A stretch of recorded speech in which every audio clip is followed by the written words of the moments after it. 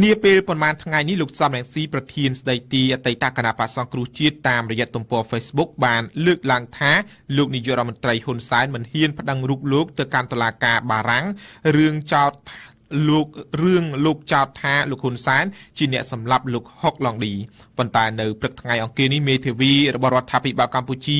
បានបញ្ជាក់ប្រាប់វិទ្យុបារាំងអន្តរជាតិថាគម្រោងប្តឹងលោកសំរងស៊ីមិនមានអ្វីប្រែប្រួលទេដោយនៅពេលនេះក្រុមអ្នកច្បាប់របស់រដ្ឋាភិបាលកំពុងតែបន្តសិក្សាផ្លូវច្បាប់ដើម្បីរៀបចំពាក្យបណ្ដឹងវ៉ាន់សុគន្ធារាយការណ៍ លោកគីតិចមេធាវីរបស់រដ្ឋាភិបាលកម្ពុជាបានអះអាងឲ្យដឹងថានៅពេលនេះការសិក្សាពីផ្លូវច្បាប់ផ្សេងផ្សេងដើម្បីដំណើរការប្តឹងលោកសំរងស៊ីទៅកាន់តុលាការនៅក្នុងប្រទេសបារាំងកំពុងតែបន្តធ្វើគឺនៅមិនទាន់បានបញ្ចប់ទាំងស្រុងនៅឡើយទេតែទោះជាបែបនេះក្តីលោកមេធាវីគីតិចក៏មិនបានបញ្ជាក់ឲ្យដឹងដែរថាតើការសិក្សាផ្លូវច្បាប់នេះនឹងបញ្ចប់នៅពេលណានិងថាតើការដាក់ពាក្យប្តឹងលោកសំរងស៊ីអាចនឹងធ្វើឡើងបាននៅពេលណាដែរ។ ការបញ្ជារបស់មេធាវីរដ្ឋាភិបាលកម្ពុជានេះធ្វើឡើងក្រោយពីលោកសំរងស៊ីតាមរយៈទំព័រ Facebook បានអះអាងជាបន្តបន្ទាប់ថាលោកនាយករដ្ឋមន្ត្រីហ៊ុនសែននឹងមិនហ៊ានប្តឹងលោកទៅកាន់តុលាការនៅក្នុងប្រទេសបារាំងនោះឡើយ លោកនាយករដ្ឋមន្ត្រីហ៊ុនសែនកាលពីថ្ងៃទី7មិថុនាកន្លងទៅបានបញ្ជាឲ្យក្រុមអ្នកច្បាប់របស់រដ្ឋាភិបាលសិក្សាពីផ្លូវច្បាប់ដើម្បីដាក់ពាក្យប្តឹងលោកសំរងស៊ីទៅកាន់តុលាការបារាំងបន្ទាប់ពីលោកសំរងស៊ីបានចុះប្រកាន់រូបលោកថាជាអ្នកបញ្ជាឲ្យដាក់ក្របបែកលើអធម្មភេកចៈសម្រាប់លោកហុកឡុងឌីដែលជាអតីតអគ្គស្នងការនគរបាលជាតិកាលពីថ្ងៃទី9វិច្ឆិកាឆ្នាំ2008 ក៏ប៉ុន្តែលោកសំរងស៊ីបានគូបញ្ជាក់ថាលោកមិនមែនចេះតែចោទប្រកាន់នោះទេគឺលោកមានភស្តុតាងច្បាស់លាស់អំពីរឿងនេះ ដូច្នេះហើយលោកអះអាងថាលោកហ៊ុនសែននឹងមិនហ៊ានប្តឹងរូបលោកនោះទេ តែបើហ៊ានប្តឹងវិញគឺនឹងចាញ់ក្តីនៅតុលាការស្រុកបារាំងហើយយ៉ាងណាក៏ដោយការលើកឡើងជាបន្តបន្ទាប់របស់លោកសំរងស៊ីនេះមិនទទួលបានការឆ្លើយតបពីសំណាក់លោកនាយករដ្ឋមន្ត្រីហ៊ុនសែននោះទេនេះបើតាមអ្នកនាំពាក្យគណៈបកកាន់អំណាចគឺប្រមុខរដ្ឋាភិបាលកម្ពុជាមិនចង់ឆ្លងឆ្លើយជាមួយលោកសំរងស៊ីទៀតឡើយ។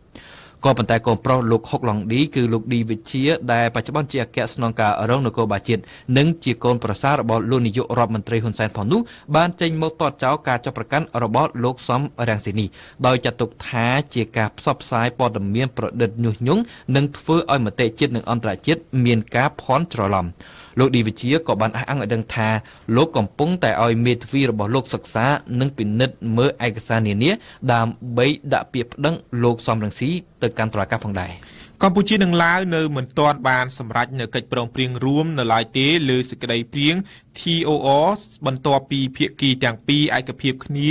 ស្នើសុំដល់ភាគីបារាំងមកជួយគូសចម្លងផែនទីព្រំដែនដែលនៅសេសសល់ការមិនទាន់ត្រូវរើគ្នានេះគឺបណ្ដាលមកពីភាគីឡាវបានអនុវត្តខុសនៅខ្លឹមសារដែលប្រមុខរដ្ឋាភិបាលទាំងពីរបានស្នើទៅកាន់ប្រធានាធិបតីបារាំងនាពេលកន្លងទៅញឹមសុផលរាយការណ៍ អនុប្រធានកិច្ចការព្រំដែនកម្ពុជាលោកស្រីកុយពិសីបានប្រាប់វិទ្យុបារាំង AFE នៅថ្ងៃអង្គារនេះថាកម្ពុជានិងឡាវនៅតែមិនទាន់ឈានទៅដល់ការឯកភាពគ្នាលើពង្រៀងលក្ខខណ្ឌប្រតិបត្តិ TOR នៅឡើយទេដោយសារតែនៅមានទស្សនៈផ្ទុយគ្នា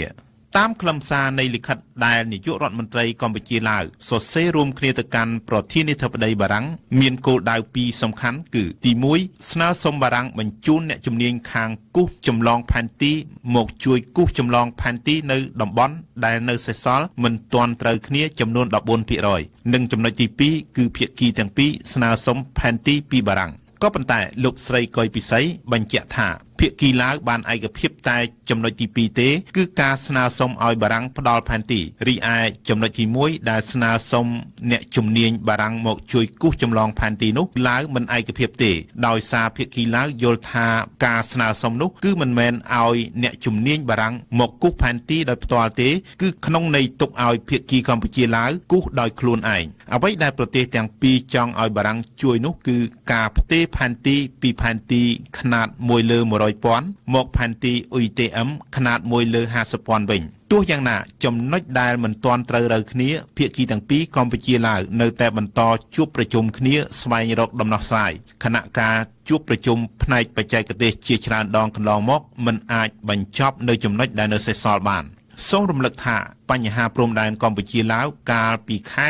សីហាឆ្នាំ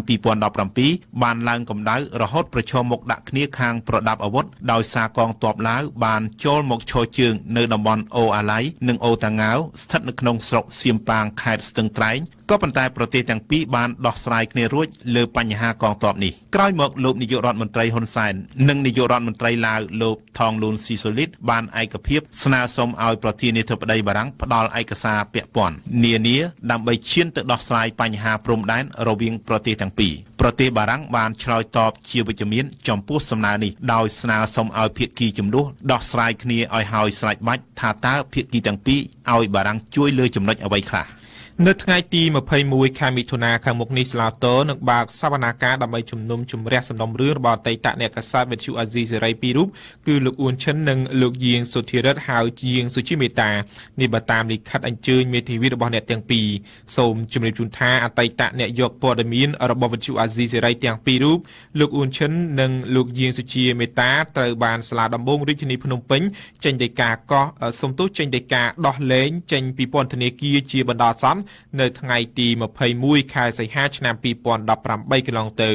សូមបញ្ជាក់ថាលោកអ៊ួនឈិននិងលោកយាងសុជីមេតាត្រូវបានតុលាការបង្គាប់ឲ្យឃុំខ្លួនដាក់ពន្ធនាគារដែលរហូតមកដល់ពេលដោះលែងជាបណ្ដោះអាសន្នមានរយៈពេលជាង8ខែក្រោមបទចោទប្រកាន់ប្រគល់ឲ្យរដ្ឋបរទេសនៅព័ត៌មានជាអាចដែលនាំឲ្យអន្តរាយដល់ការការពារជាតិប្រព្រឹត្តទៅនៅប្រទេសកម្ពុជាកាលពីអំឡុងឆ្នាំ2017តាមបញ្ញត្តិមាត្រា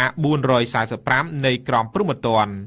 សេចក្តីព្រៀងច្បាប់ស្តីពីការបង្កើតអង្គការបណ្ដាញអន្តរជាតិសម្រាប់ឫស្សីនិងផ្ដៅត្រូវបានរដ្ឋសភាអនុម័តរួចរាល់ហើយនៅថ្ងៃទី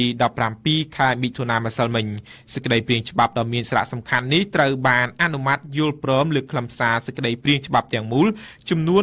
107សំឡេងគួរជំរាបជូនថាសេចក្តីព្រៀងច្បាប់ស្តីពីការបង្កើតអង្គការបណ្ដាញអន្តរជាតិសម្រាប់ឫស្សីនិងផ្ដៅ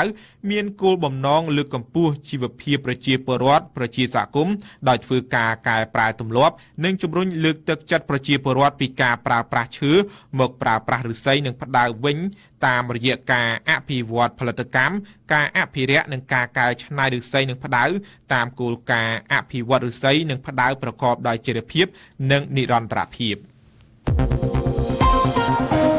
រដ្ឋមន្ត្រីក្រសួងបរិស្ថាននិងឯកអគ្គរដ្ឋទូតបារាំងនៅថ្ងៃអង្គារនេះបានអញ្ជើញដាំដើមឈើជានិមិត្តរូបចំនួន2ដើមនៅឧទ្យានរបស់ស្ថានទូតបារាំងរដ្ឋមន្ត្រីក្រសួងបរិស្ថានបាននិយាយថាដើមឈើដែលផ្ដល់ជូនស្ថានទូតបារាំងនៅពេលនេះគឺជាប្រភេទដើមឈើកម្រចិត្តផុតពូជយកមកពីខេត្តមណ្ឌលគិរីឈ្មោះថាឆាមឆាំកន្លងមក ក្រសួងបរិស្ថានធ្លាប់ផ្ដល់ដើមឈើជាង100ដើមដល់ស្ថានទូតបារាំងហើយបច្ចុប្បន្នដើមឈើនៅក្នុងស្ថានទូតបារាំងមានចំនួន200ដើមនិងមានជិត100ប្រភេទបន្ថែមលើនេះអ្នកនាំពាក្យក្រសួងបរិស្ថានប្រកាសស្វាគមន៍ក្នុងការផ្ដល់កូនឈើទៅដល់បណ្ដាទូតផ្សេងទៀតប្រសិនបើទូតទាំងនោះចំមានចំណាប់អារម្មណ៍នៅក្នុងការដាំលំអសូមស្ដាប់សេចក្តីរាយការណ៍របស់អេងគឹមហុងពីស្ថានទូតបារាំងអានេះគឺជាដើមកស៊ូ ដើមកស៊ូនេះឥឡូវគេយើងចាត់ទុកថាជាដើមពាណិជ្ជកម្មមួយក៏បានដែរព្រោះយើងធ្វើអាជីវកម្មទៅលើជ័រកស៊ូហ្នឹងដើម្បីផលិតជាកង់ដូចកង់ឡានកង់ម៉ូតូអីហ្នឹងគឺគេផលិតពីជ័រកស៊ូនេះហើយហើយកស៊ូនេះប្រភពរបស់វាគឺ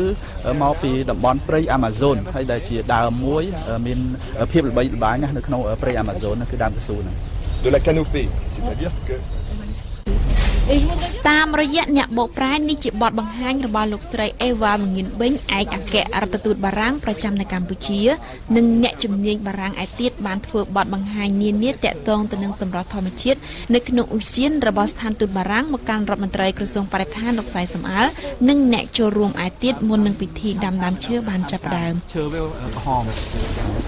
Et là, on peut donner C'est un peu pour les autres. Plus loin. appelle un chargé d'affaires. C'était quelqu'un qui euh, n'a pas le titre d'ambassadeur, mais qui fait le même, euh, qui fait le travail quand l'ambassadeur n'est pas là. Oh, il y a les moustiques. Voilà, je pense que c'est important. ឥឡូវនេះអឺសួនយើងធ្វើស្អាតឡើងវិញហើយប៉ុន្តែជាការចាំបាច់ដែលយើងត្រូវដឹងប្រវត្តិរបស់ស្ថានទូតដែរប្រវត្តិរបស់សួនហ្នឹងគឺថាធ្លាប់ឆ្លងកាត់មានប្រវត្តិសោកនាដកម្មដែលសួននេះគឺបានឆ្លងកាត់ដូច្នេះហើយវាជាការសំខាន់នៅក្នុងការសិក្សាឬក៏ចងចាំអំពីប្រវត្តិសាស្ត្រលោកណេតផេត្រាអ្នកនាំពាក្យក្រសួងបរិស្ថាន បាទរហូតមកដល់ពេលនេះគឺក្រសួងបរិស្ថានបានផ្ដល់នៅដើមឈើប្រមាណជាជាង100ដើមមកកាន់ស្ថានទូតបារាំងហើយចុងក្រោយនេះគឺចំនួនប្រមាណជា47ដើមដែលជាប្រភេទដើមឈើកម្រកម្រជាឈើប្រណិតដើម្បីឲ្យស្ថានទូតអាចដាំនៅក្នុងឧស្សាហរបស់ខ្លួននេះ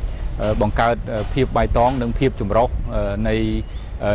ដើមឈើក៏ដូចជាបង្កើតឲ្យមាន ទីទីចម្រុះសម្រាប់ទីជីវៈចម្រុះផ្សេងផ្សេងទៀតដែរក្រសួងបរិស្ថានស្វាគមន៍ចំពោះស្ថានទូតផ្សេងទៀតដែលមានបំណងនៅក្នុងការដាំដើមឈើនៅក្នុងស្ថានទូតរបស់ខ្លួនគឺយើងរៀបចំត្រៀមខ្លួនជានិច្ចសម្រាប់ការផ្ដល់នៅប្រភេទពូជឈើបណិតក៏ដូចជាប្រភេទឈើផ្សេងផ្សេងដែលពួកគាត់ចង់បានដើម្បីបង្កើតជាសួនបៃតងនៅក្នុងស្ថានទូតក៏ដូចជាការចូលរួមនៅក្នុងការបង្កើតភាពបៃតងសម្រាប់រាជធានីទាំងមូលដែរបាទ យុវជនឈិនកុងគាបន្ទាប់ពីដើរមើលឧឈានស្ថានទូតបារាំងបានផុសចេញគំនិតតែងនិពន្ធបទចម្រៀងតាក់ទងទៅនឹងបរិស្ថានបទខ្លះគឺយើងនិយាយពីផលប៉ះពាល់នៃទង្វើមនុស្សមកដល់ធម្មជាតិដូចជាបទទី1របស់ខ្ញុំក៏ពិតទៅគឺជ្រើសទៅពីបរិស្ថានមួយក្នុងសាលាប្រកួតប្រជែងចម្រៀងហ្នឹងទៅហើយពួកខ្ញុំបានចំណាក់ចំណាក់លេខ1ដែលបទចម្រៀងហ្នឹងគឺមានចំណងធម្មជាតិនៅមនុស្ស និងមនុស្សដែលខាងគឺអ្នកចម្រៀងគាត់ដាក់ចូលជាមនុស្សហើយខ្ញុំជាធម្មជាតិពួកខ្ញុំបានមានការសន្ទនាមួយគ្នាអំពីផលប៉ះពាល់អំពីធម្មជាតិថារងផលប៉ះពាល់អីខ្លះចង់ឲ្យមនុស្សធ្វើអីខ្លះយ៉ាហើយវាជាចង្វាក់រ៉េបហើយបទទី2គឺនិយាយអំពីដំណឹងចំណងជើងគឺដំណឹង2តែថ្ងៃអត់បាន record ចប់ទេនឹងនឹងក្នុងអាទិត្យហ្នឹងគឺនឹងហើយដែរពួកខ្ញុំហើយនឹងថាគឺមានដំណឹង2មកជូនអ្នកស្ដាប់ថាដំណឹងទី1នេះគឺខ្ញុំនិយាយអំពី ផែនដីគាត់ទទួលចង់បានអីខ្លះហើយដំណឹងទី2ថាបើសិនតែមានការបំពុលនឹងតទៀតអញ្ចឹងឈ្មោះហេងចន្ទថាអតីតយោធានៅវិរៈសេនាតូចលេខ402ត្រូវបានសមត្ថកិច្ចឃាត់ខ្លួននិងកំពុងសាកសួរអំពីករណីបង្កាយគ្រាប់ B40 និង DK 75 ក្នុងបរិវេណសាលាអនុវិទ្យាល័យរួតចំបៃសង្កាត់អូស្មាច់ក្រុងសំរោងខេត្តឧត្តរមានជ័យសូមជម្រាបជូនថានៅក្នុងពិធីនាយករដ្ឋមន្ត្រីសខេងរដ្ឋមន្ត្រីក្រសួងមហាផ្ទៃបានបញ្ជាក់ថា ការបង្កាយគ្រាប់បែកនេះគឺជាចេតនាបង្កចលាចល ដើម្បីយកសម្លេងផ្ទុះបង្កើតភាពភ័យខ្លាចដល់ប្រជាពលរដ្ឋ ក្រសួងសុខាភិបាលកាលពីថ្ងៃម្សិលមិញបានចេញលិខិតឈាមដែលបានឲ្យអ្នកជំងឺដេកសម្រាប់ព្យាបាលដែលជាករណីខុសទៅនឹងលិខិតអនុញ្ញាត ដែលមិនអនុញ្ញាតឲ្យមានក្រែសម្រាប់អ្នកជំងឺដេកសម្រាប់ព្យាបាលលើសពី24ម៉ោងសូមជំរាបជូនថាការប្រមាននេះធ្វើឡើងបន្ទាប់ពីមានការបែកធ្លាយឃ្លីបវីដេអូមួយជំងឺគ្រុនឈាមពាក់ព័ន្ធទៅនឹងករណីថ្លៃព្យាបាលរហូតដល់5200ដុល្លារអាមេរិកក្រោយពីសម្រាប់ព្យាបាល9ថ្ងៃការទៀមទាថ្លៃដ៏ខ្ពស់នេះត្រូវបានមហាជនទូទៅចាត់ទុកថាជាការចម្រិតទារប្រាក់តាមអំពើចិត្តរបស់បន្ទប់ពិគ្រោះព្យាបាលជំងឺខាងលើ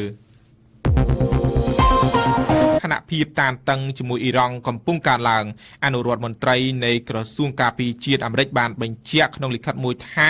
ទ័ពអាមេរិកត្រូវបានបញ្ជូនទៅកាន់តំបន់មជ្ឈមបូព៌ាក្នុងគោលដៅការពារដែនអាកាសដែនទឹកនិងដី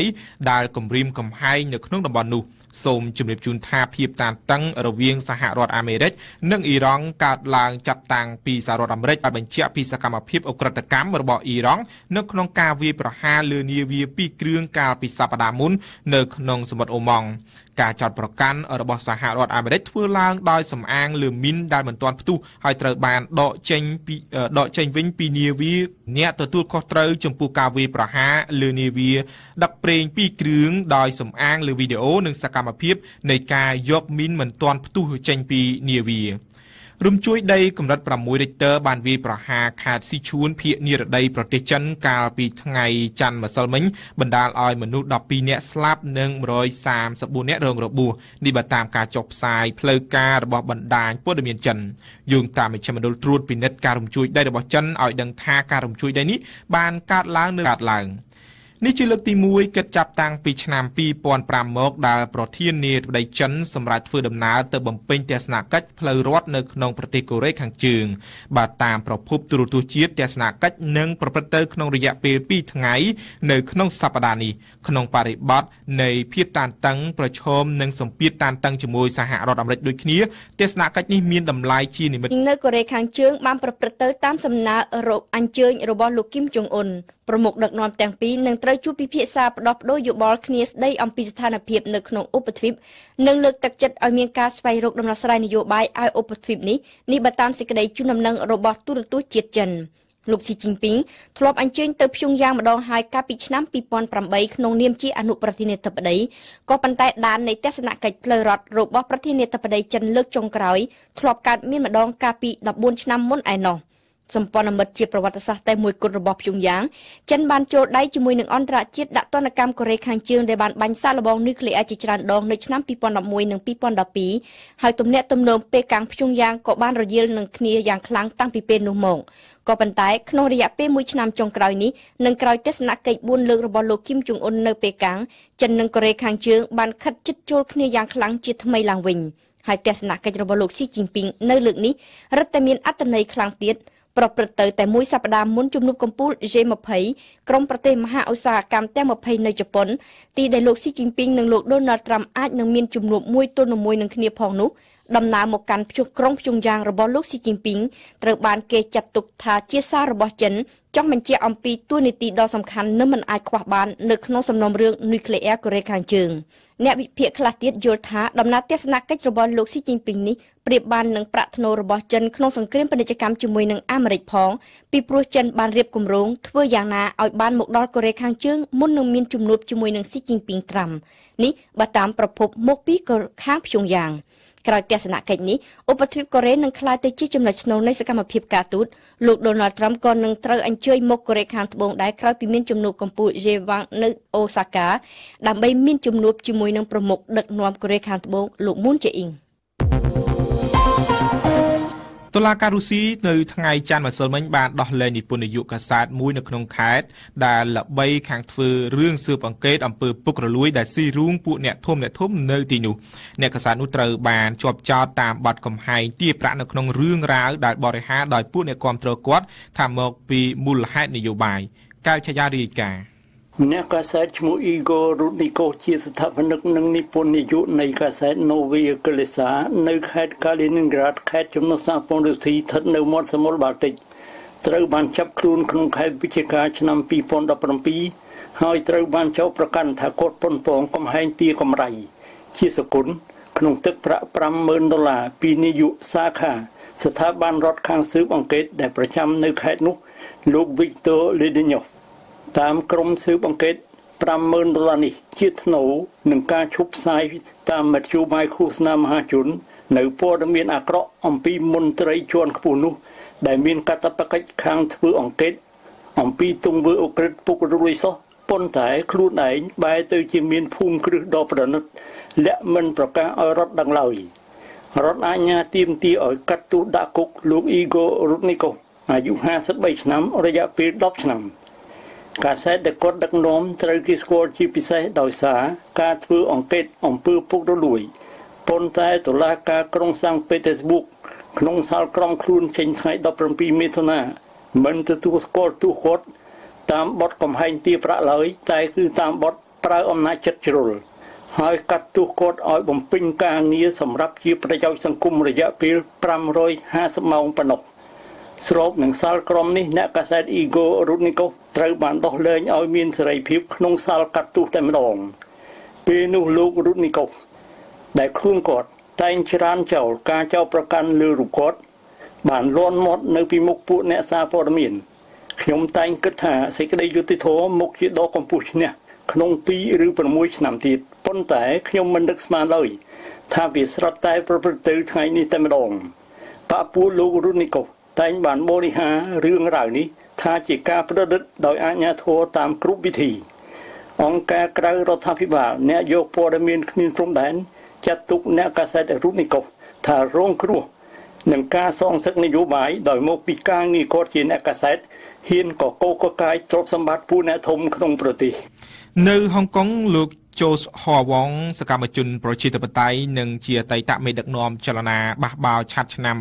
2014ត្រូវបានដោះលែងពីពន្ធនាគារនាថ្ងៃច័ន្ទទី17មិថុនាគ្រាន់តែទទួលបានសេរីភាពភ្លាមសកម្មជនប្រជាធិបតេយ្យវ័យ22ឆ្នាំរូបនេះបានថ្លែងទៅកាន់ប្រមុខដឹកនាំហុងកុងលោកស្រី Kerry ដោយបានទាមទារឲ្យលោកស្រីចុះចេញពីតំណែងសម្រាប់លោកវងលោកស្រី Kerry មានលក្ខណៈសម្បត្តិ មិនគ្រប់គ្រាន់ដើម្បីបន្តជាប្រមុខដឹកនាំហុងកុងទៀតឡើយគូរំលឹកថាលោកវងបានទទួលទោសជាប់ពន្ធនាគារក្នុងវ័យ17ឆ្នាំពីបទដឹកនាំចលនាបះបោរឆាត់ក្នុងពេលជាប់ពន្ធនាគារយើងស្ដាប់គួយគុនធីរ៉ា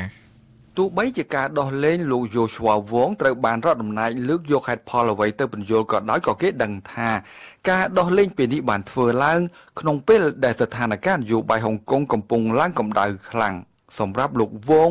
នេះជាឱកាសមួយល្អណាស់ដើម្បីបន្តការតស៊ូរបស់លោកអញ្ចឹងហើយបានជាតាំងពីដាក់ជើងនៅក្រៅគុកភ្លាម លោកវងក៏បានចាប់អារម្មណ៍ភ្លាមភ្លែតលើមហាបាតកម្មរបស់ពលរដ្ឋហុងកុងប្រឆាំងនឹងសេចក្តីព្រៀងច្បាប់ស្តីពីការធ្វើបច្ចុប្បន្នជនសង្ស័យទៅកាត់ទោសនៅចិនពេកាំងក្នុងពេលខ្ញុំនៅក្នុងគុកខ្ញុំបានឃើញលោកស្រីការីឡាំយំនៅតាមកញ្ចក់ទូរទស្សន៍ដោយផ្ទាល់ អ្វីដែលខ្ញុំអាចនិយាយបានគណៈពេលដែលលោកស្រីបង្ហូរទឹកភ្នែកពលរដ្ឋហុងកុងបង្ហូរឈាមនេះជាការថ្លែងរបស់លោកវង នៅចំពោះមុខហ្វូងអ្នកកាសែតលោកវងចង់និយាយលើអំពើហិង្សារបស់កម្លាំងប៉ូលីសដែលបានវាយប្រហារលើហ្វូងបាតកោហុងកុងក្នុងថ្ងៃពុធទី12មិថុនាកន្លងទៅ បន្ទាប់មកសកម្មជនប្រជាធិបតេយ្យនិងអតីតមេដឹកនាំចលនាបះបោឆាត់ឆ្នាំ2014វ័យ22ឆ្នាំរុកនេះបានអំពាវនាវត្រង់ឲ្យប្រមុខដឹកនាំហុងកុងលោកស្រីការីឡាំចុះចេញពីតំណែងដោយលោកវងយល់ថា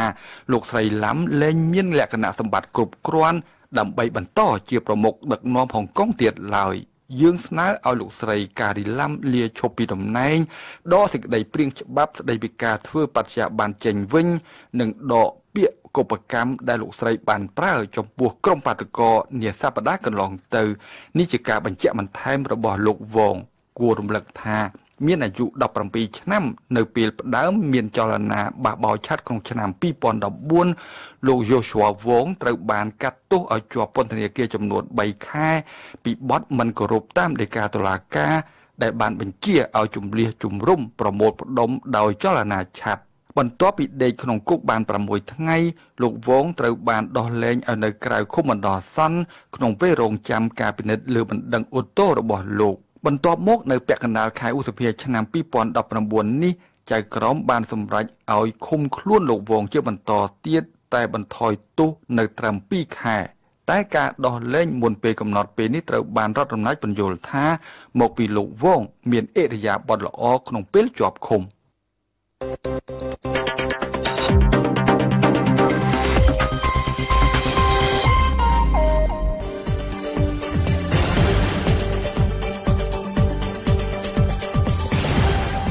វិទ្យុបារាំងអន្តរជាតិ AFE 92 MHz នៅភ្នំពេញនិងមានរបបវិទ្យុបារាំងអន្តរជាតិ AFE ជាបន្តលោកអ្នកលោករៀបចំជូនដោយគូចគុនធេរ៉ា ក្រោយមកទៀតគឺជានីតិទីឯកតោភាគីចេញពីកម្ពុជាប៉ុន្មានរដ្ឋសភាជាតិកម្ពុជាបានអនុម័តជាផ្លូវការហើយលើសេចក្តីព្រៀងច្បាប់ស្តីពីការគ្រប់គ្រងប្រេងកាតនិងផលិតផលចុងឆ្នាំ2019នេះឬយ៉ាងយូរនៅដើមឆ្នាំ2020ដំណឹងនៃដំណក់ប្រេងដំបូងនេះបង្កឲ្យមានភាពរីករាយខ្លាំងមែនទែននៅក្នុងចំណោមសាធារណជនខ្មែរប៉ុន្តែនៅក្នុងពេលជាមួយគ្នានេះសង្គមស៊ីវិលដែលតាមដានបញ្ហារស់ដោយប្រទេសមួយចំនួនទៀតនៅក្នុងពិភពលោក សូមស្ដាប់សេចក្តីរាយការណ៍របស់វ៉ាន់សុគន្ធាបើទោះបីជារដ្ឋសភាជាតិកម្ពុជាបានអនុម័តសេចក្តីព្រាងច្បាប់ស្តីពីការគ្រប់គ្រងប្រេងកាតនិងផលិតផលប្រេងកាតរួចរាល់ហើយក៏ដោយក៏ប៉ុន្តែលោកព្រៀបកលដែលជានាយកប្រតិបត្តិអង្គការដំឡាភិបកម្ពុជាបានលើកឡើងថាលោកមិនបានដឹងពីច្បាប់នេះតទៅសោះទីមួយខ្ញុំមិនទាន់បានឃើញច្បាប់នឹងទេហើយគេទៅជាមិនមានការជជែកឬក៏សបស្អាយមានការវិគ្រោះយោបល់អីច្រើនទេ ចឹងខ្ញុំសូមមិនទាន់ធ្វើការវិតម្លៃអំពីគុណភាពនៃច្បាប់នឹងទេបាទតាមចាំមើលខ្ញុំពិនិត្យមើលសិនលោកព្រៀបកលបន្តទៅចំណុចទី2ទៀតថាចំណុចទី2ខ្ញុំយល់ថាច្បាប់របស់ប្រទេសយើងនេះមិនទាន់គ្រប់គ្រាន់ទេយើងគួរតែចូលរួមនៅក្នុងសេចក្តីវិព្រួយផ្ដើមឬក៏គម្រោងឬផ្ដើមដើម្បីឲ្យមានតម្លាភាពនៃ active industry transparency initiative គណិតពីផ្ដើមស្ដីពីតម្លាភាពនៃចែកប្រេងអញ្ចឹងបើសិនជាយើងមានចូលនៅក្នុងគណិតនេះថាមានការផ្សព្វផ្សាយជាសាធារណៈអាចប្រជាពលរដ្ឋឬក៏ស្ថាប័នពាក់ព័ន្ធនេះក៏អាចតាមដានខ្លំមើលជួយគណិតនេះបានហើយបើសិនជាអត់មានទេខ្ញុំគិតថាវានៅតែមានការព្រួយបារម្ភយើងមានតម្លាភាពគ្រប់គ្រាន់ហើយច្បាប់យើងនេះក៏ខ្ញុំមិនទាន់បានឃើញថាវាមាន ជាការគ្រប់គ្រងធានាគុណភាពសម្រាប់ភាពនៃនឹងគណនេយ្យភាពយ៉ាងម៉េចខ្លះទេបាទចំពោះរឿងនេះលោកផៃសិផាននៅពីរដ្ឋាភិបាលកម្ពុជាបញ្ជាក់តបថាសូមជម្រាបថានេះជាឧស្សាហកម្មថ្មីមួយទៀតសម្រាប់កម្ពុជានៅក្នុងនេះជាប្រវត្តិសាស្ត្រហើយនៅក្នុងការពិភាក្សាការរៀបចំច្បាប់ហ្នឹងគឺយើងបានធ្វើលិតឡំណាស់តាំងពីជាមួយនឹងស្ថាប័នធំធំដែលជាស្ថាប័នដូចជារូបិ យវត្ថុអន្តរជាតិក៏ដូចជាស្ថាប័ននានាដែលពាក់ព័ន្ធពីរឿងពន្ធដារសម្រាប់ចូលរួមចំណាយពីការវិវត្តហេតុជាតិផលពឹកទឹករបស់យើងជាជាផលពឹកទឹកប្រកបដោយវិជ្ជមានពីព្រោះយើងធ្វើច្បាប់នេះដែលមានការផ្ដល់ប្រឹក្សាពីស្ថាប័នអន្តរជាតិធំធំហើយដើម្បីរក្សាតម្លៃនៃ ចំណូលឆ្លើយតបក្នុងការបំពេញកិច្ចអភិវឌ្ឍនៅក្នុងសង្គមជាតិខ្មែរអាស្រ័យដល់ឧស្សាហកម្មនេះមិនមែនជាឧស្សាហកម្មរបស់ឯកជនណាទេជាឧស្សាហកម្មមួយតែជារបស់ប្រជាពលរដ្ឋខ្មែរអ្វីដែលចំណូលគឺជាផលប្រយោជន៍របស់ប្រជាពលរដ្ឋខ្មែរតាមរយៈក្រសួងសេដ្ឋកិច្ចនិងហិរញ្ញវត្ថុនេះឯងបាទ ក៏ប៉ុន្តែសម្រាប់លោកយ៉ងកំឯងដែលជាប្រធានមជ្ឈមណ្ឌលប្រជាពលរដ្ឋដើម្បីការអភិវឌ្ឍនិងសន្តិភាពវិញលោកបារម្ភទៅលើការគ្រប់គ្រងមិនមានដំណាភាពលើចំណូលបានមកពីប្រេងនេះដែលវានឹងធ្វើឲ្យកម្ពុជារងនៅបណ្ដាសាប្រេងអ្វីដែលសំខាន់បំផុតដែលខ្ញុំមើលឃើញរឿងសំខាន់គឺនៅត្រង់យន្តការតាមដាននិងត្រួតពិនិត្យហើយនឹងអង្គើកិច្ចពន្ធផ្សេងៗក៏ដូចជាអង្គើពុះលួយបាទ ពលនឹងព្រៃណាបាទអញ្ចឹងកាលណាថាយើងអត់អាចទប់ស្កាត់រឿងទាំងអស់នឹងបានទេគឺកម្ពុជានឹងនឹងខ្លាយទៅជាថាបណ្ដាសាព្រៃណាបាទអញ្ចឹងហើយដែលធ្វើឲ្យប្រទេសជាតិនឹងវាមិនអាចយល់ផុតពីភាពក្រីក្រឬក៏វាអាចដែលយកធនធានព្រៃអស់ទៅវាអត់យើងអត់មានអីទៀតនោះអាចទាញយកទម្លាក់ទៅលើទៅក្នុងភាពក្រីក្រទៅវិញបាទអញ្ចឹងរឿងដែលសំខាន់ផុតគឺត្រូវតែមានការយកចិត្តទុកដាក់ខ្ពស់បាទ មិនយើងគិតថាច្បាប់យើងមានហើយប៉ុន្តែយើងត្រូវរឹតបន្តឹងយន្តការហើយយន្តការទាំងអស់ហ្នឹងគឺមានសិទ្ធិភាពទៅបានត្រូវមានការចូលរួមពីសំណាក់ដែលស្ថាប័នឯករាជ្យដែលស្ថាប័នរំលឹងរដ្ឋតែដូចជាកុំជំនឿជាដើមបាននៅក្នុងការចូលរួមតាមបានទូប្រទេសបាទលោកចង់កំឯងគូបញ្ជាក់បន្ថែមថាសិល្បៈចំហនៅក្នុងការតាមដានត្រួតពិនិត្យហើយ រដ្ឋាភិបាលក៏ត្រូវតែធានានៅការចូលរួមនឹងហើយឲ្យទទួលយកនៅរបាយការណ៍និងការលើកឡើងរបស់សង្គមស៊ីវិលទៅពិចារណាទៅធ្វើការស៊ើបអង្កេតបន្ថែមដែរបាទកុំឲ្យថាសង្គមស៊ីវិលលើកឡើងទៅចេះតែប្រតិកម្មទៅហាក់ដូចជាការចូលរួមរបស់សង្គមស៊ីវិលហ្នឹងគឺអត់មានន័យបាទជាទូទៅដែលគេមើលឃើញថាការដែលរដ្ឋាភិបាលលើថ្នាក់ជាតិអី ប្រតិកម្មហោហែក៏នឹងការពារពួកមន្ត្រីអស់ហ្នឹងណាបាទនេះគឺរឿងមួយដែលសំខាន់ដែលយើងមានការព្រួយបារម្ភជាងបើសិនណារដ្ឋាភិបាលក៏ត្រូវតែត្រៀមលក្ខណៈក្នុងការកែប្រែអរិយាប័ត្រក្នុងការឆ្លើយតបទៅលើពុកសិលនិងគិតគូរអំពីវិធានការជាក់លាក់នៅក្នុងការទប់ស្កាត់ឲ្យខាងតែបាននៅអំពើពុលួយឬអំពើតិចពន្ធអីផ្សេងៗទាំងអស់ហ្នឹងបាទនឹងគឺគឺកបៈគុណយមអីដែលធ្វើឲ្យការ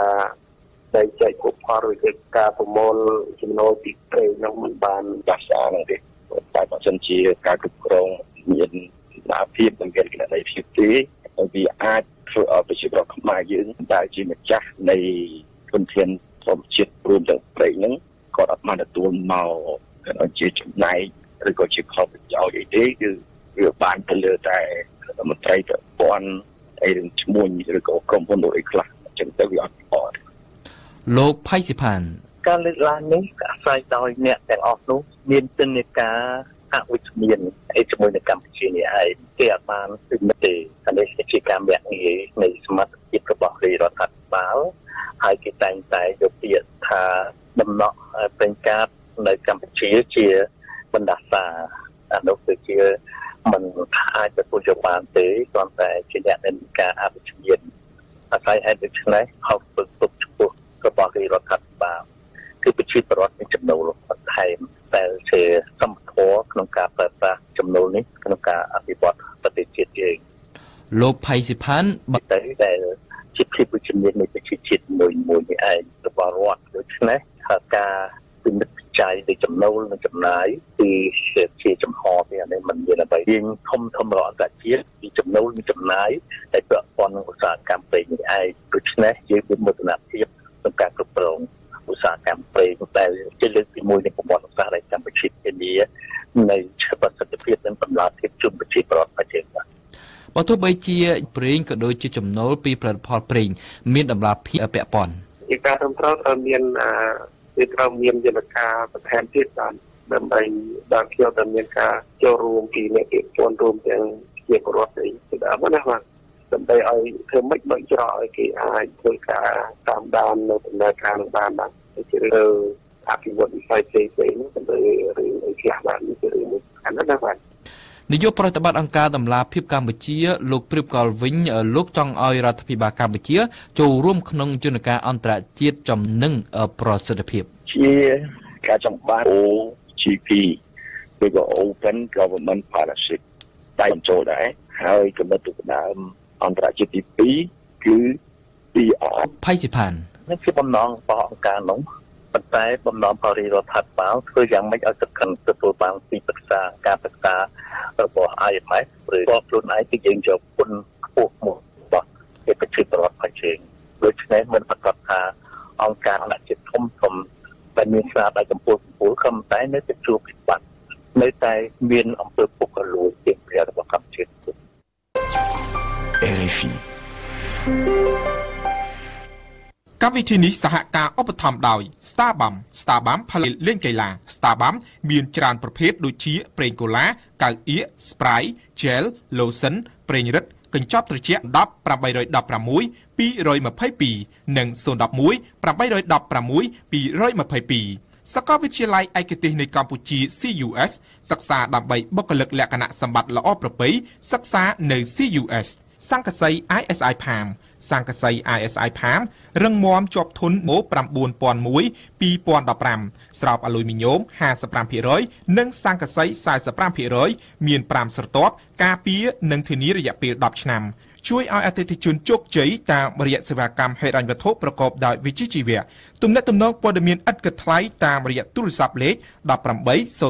20 8នៅថ្ងៃទី13មិថុនាកប៉ាល់ដឹកប្រេងចំនួន2គ្រឿងបានរងការវាយប្រហារនៅក្នុងឈូងសមុទ្រអូម៉ង់ដែលស្ថិតនៅក្បែរច្រកទីអារ៉ាប៊ីសាអូឌីតទោះបីជាមកទល់ពេលនេះគេនៅមិនទាន់ដឹងថាជាស្នាប់អ្វីដែលគ្រប់គ្នាកំពុងបារម្ភខ្លាំងគឺតម្លៃប្រេងឆៅឡើងថ្លៃនៅលើទីផ្សារអន្តរជាតិ ខណៈនេះច្រកសមុទ្រអកមូសកំពុងคล้ายជាសង្គ្រាមពាក្យសម្ដី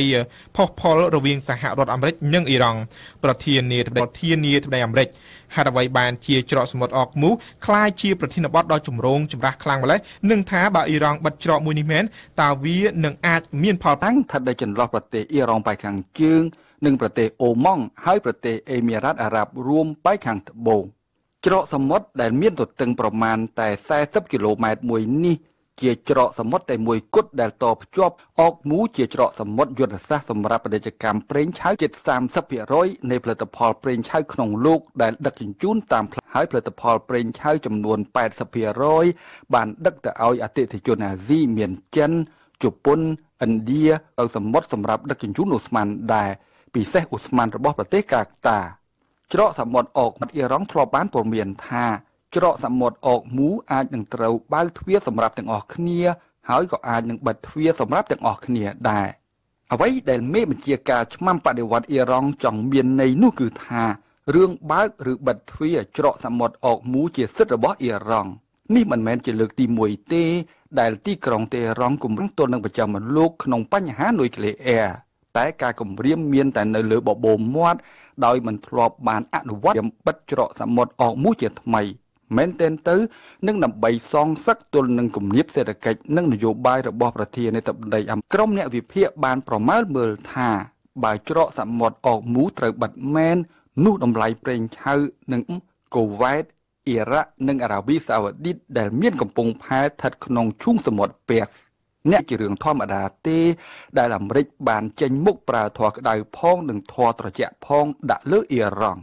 ក្រុមអ្នកសង្កេតការបានមើលឃើញថា ទីក្រុង Washington អាចនឹងចូលខ្លួនអន្តរាគម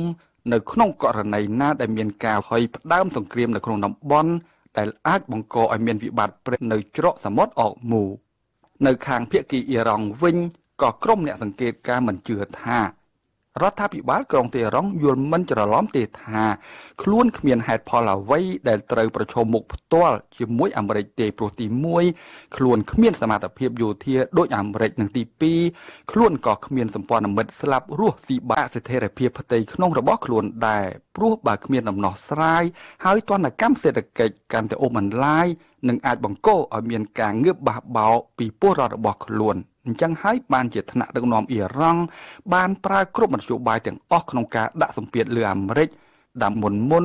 អ៊ីរ៉ង់ហាក់បានស្គាល់ចិត្តលោកត្រាំច្បាស់និងទាញបានមេរៀនមួយចំនួនពីក្នុងជំនួបរវាងលោកត្រាំនិងមេដឹកនាំកូរ៉េពីជំនួបត្រាំគីមមានពីរសំខាន់ទី1លោកដូណាល់ត្រាំនិយាយច្រើនតែមិនធ្វើ និងទី2គេគួរតែទេសនៈសារព័ត៌មាន នៅថ្ងៃអង្គារទី18មិថុនានេះកសែតនានានៅក្នុងប្រទេសកម្ពុជានឹងបានចាប់អារម្មណ៍ចុះផ្សាយទៅលើរឿងអ្វីខ្លះទៅបាទភារៈដូចជាខុសពិសោធន៍មួយដងគឺនៅថ្ងៃនេះកាសែតនានានៅក្នុងប្រទេសកម្ពុជាបានចាប់អារម្មណ៍ចុះផ្សាយរឿងផ្សេងផ្សេងគ្នា នៅលើទំព័រមុខរបស់ខ្លួននីមួយៗ កសាំងដោយក្រុមហ៊ុនរបស់ចិននៅលើទំព័រមុខរបស់ខ្លួនរូបភាពនេះគឺជារូបភាពដ៏ធំមែនទែនដែលមានទំហំស្ទើរតែពេញមួយទំព័រមុខរបស់កាសែតខ្មែរ Times អាយចិនធ្វើការបដិសេធនយោបាយការទូតអន្តៈបំណុល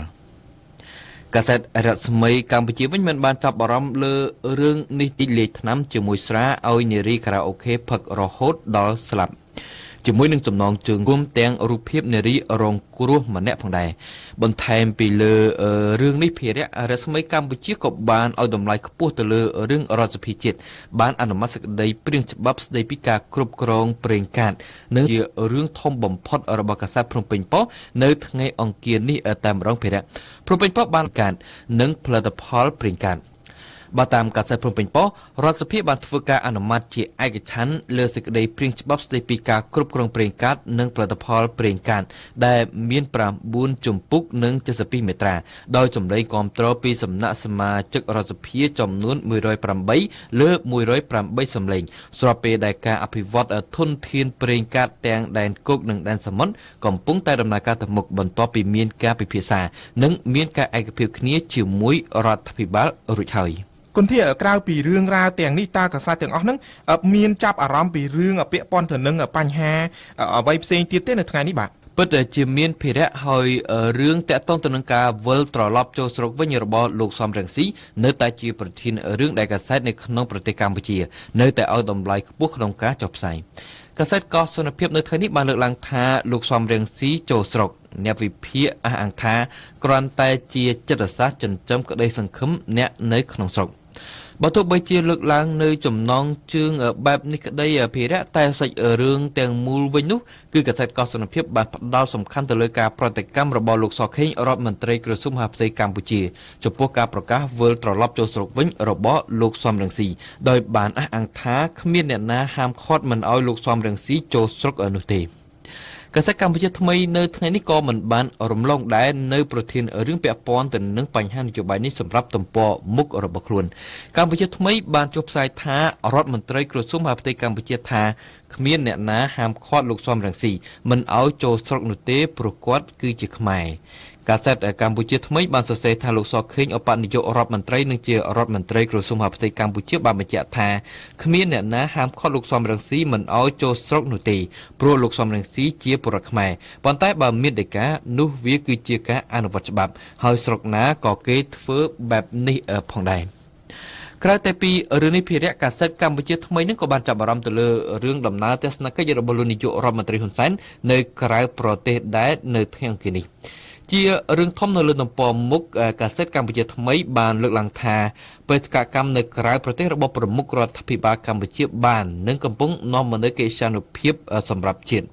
បើតាមកាសែតមួយនេះបេសកកម្មទៅប្រទេសហុងគ្រីរបស់លោកនាយករដ្ឋមន្ត្រីហ៊ុនសែនបានទទួលជោគជ័យគួរជាទីមុតនៈក្នុងនោះកម្ពុជាជាមួយប្រទេសហុងគ្រីក៏ដូចជាប្រទេសតាជីគីស្ថានទូគី និងគីគីស្ថាន បានកសាងនិងពង្រឹងទំនាក់ទំនងកិច្ចសហប្រតិបត្តិការទៅលើវិស័យផ្សេងផ្សេងជាច្រើនទៀតបន្ថែមពីលើទំនាក់ទំនងតំបន់និងប្រទេសទី3ផងដែរ ភារៈខ្ញុំសូមបញ្ចប់នីតិទស្សនសារព័ត៌មានខ្មែរនៅថ្ងៃនេះដោយត្រឡប់ទៅមើលកាសែតភ្នំពេញប៉ុស្តិ៍ឲ្យជាថ្មីក្រៅតែពីរឿងអនុម័តសេចក្តីព្រៀងច្បាប់ស្តីពីការគ្រប់គ្រងព្រៀងកាតកាសែតភ្នំពេញប៉ុស្តិ៍ក៏បានចាប់អារម្មណ៍លើរឿងតុលាការចុះប្រកាន់ម្ចាស់ក្លឹបលុចសេរីពីបទជួញដូរគ្រឿងញៀនផងដែរកាសែតនេះបានសរសេរថាចៅក្រមស៊ើបសួរសាលាដំបងរាជធានីភ្នំពេញកាលពីល្ងាចថ្ងៃច័ន្ទម្សិលមិញហ្នឹងបានសម្រេចធ្វើការចុះប្រកាន់និងបញ្ជាឲ្យបញ្ជូនទៅឃុំខ្លួននៅពន្ធនាគារម្ចាស់ក្លឹបលុចសេរីក្រោយពីសមត្ថកិច្ចបានចាប់ខ្លួនបាននៅក្នុងខេត្តបាត់ដំបងកាលពីថ្ងៃអាទិត្យក្រោមការចោទប្រកាន់ពីបទជួញដូរគ្រឿងញៀនអរគុណវ៉ាន់សុគន្ធាដែលបានរៀបចំនីតិទេសនាសារព័ត៌មាននៅព្រឹកនេះ